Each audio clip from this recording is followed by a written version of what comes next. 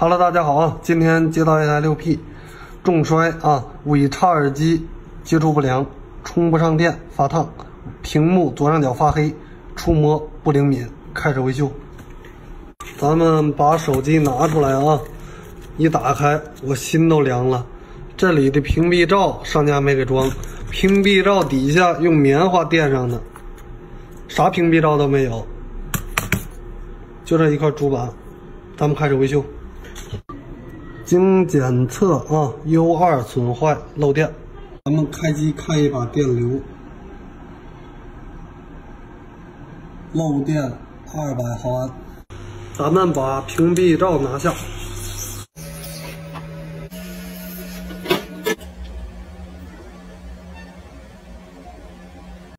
全新 U2 装。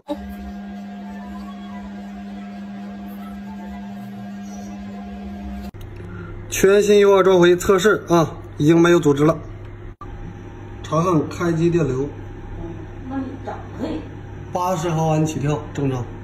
开机发现屏幕左上角确实黑屏，更换全新屏幕测试，左上角不黑，屏幕问题。咱们回头看一下这个屏幕啊，这个屏幕它用胶带纸粘上的，咱们撕开。咱们给它换个屏蔽罩啊，这两个螺丝它还打上了。咱们给它更换一个屏蔽罩。